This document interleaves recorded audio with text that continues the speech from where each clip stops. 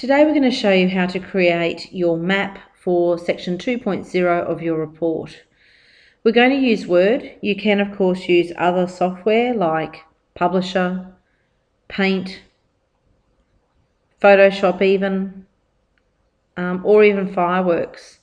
But it's just as easy to do it in Word and really these skills will use be used in lots of different ways um, in your future schooling. So the first thing we need to do is to create a new Word document. The reason we're doing it in the Word document is just to make it easier rather than within our template. And we need to go into Google and search Hilliards Creek, Ormiston. Once we get our search, choose Maps. My Google Maps will look slightly different to yours. It's been upgraded, um, but I'll explain what to do. In the top right hand corner of your section, it gives you the option to choose satellites. So if you use some of the down arrows, ensure you pick satellite.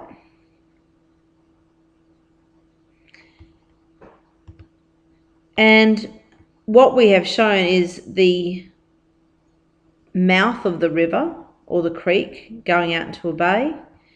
We need to drag further upstream I'm now starting to see places I know. There's Sturgeon Street. The causeway is just on the other side. And I can also see Ormiston College. Now I do want to zoom in a little bit. Because in the end, I want to be able to see on my map the other side of Sturgeon Street, the northern side where the causeway is.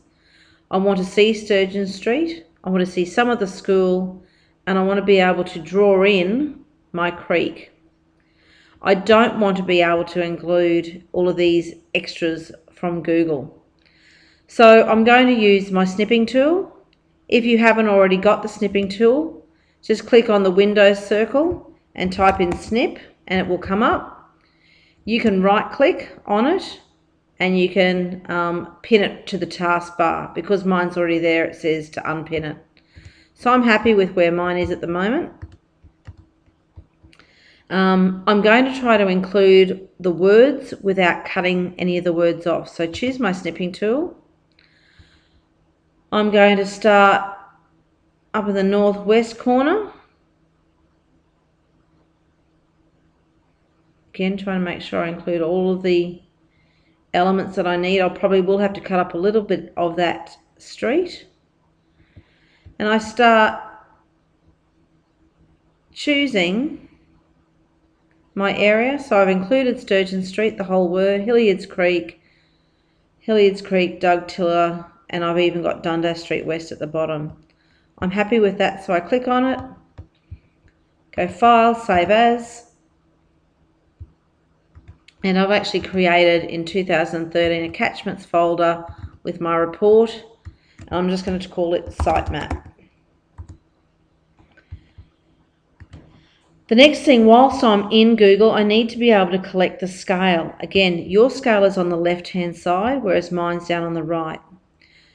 Knowing the image that I've just collected and knowing that my scale is usually located in the bottom left-hand corner, I know that it is more than likely going to have trees behind the scale. So move your image until it is the scale has some trees behind it and then snip it and then once you've got that, it will meld nice and neatly into the map that you've, you've already snipped. For me, I've only got a black background to choose from. And I need to move my menu bar out of the way or I won't see it. Just going to snip it. Get as close to it as possible. We don't want any extra information around it. Again, file, save as, and it's going to be sitemap scale.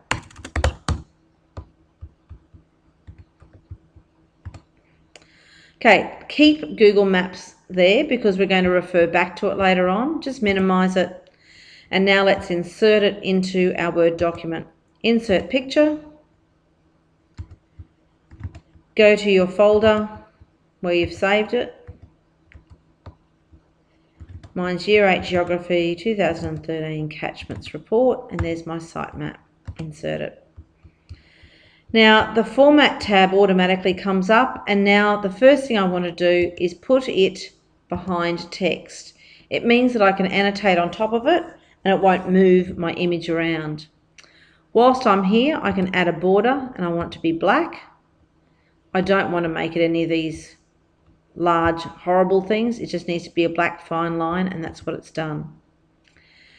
Now, click off that map, and we want to insert our scale. Again, it's another picture. Pick your sitemap scale, and whilst it's highlighted, wrap text in front of text, and it allows you to move it a little bit more freely. Again, bottom left-hand corner of your figure, and make sure that it doesn't hit or touch any of the borders of your diagram. Okay, make sure you've got that. Our next um, installment will show you how to annotate it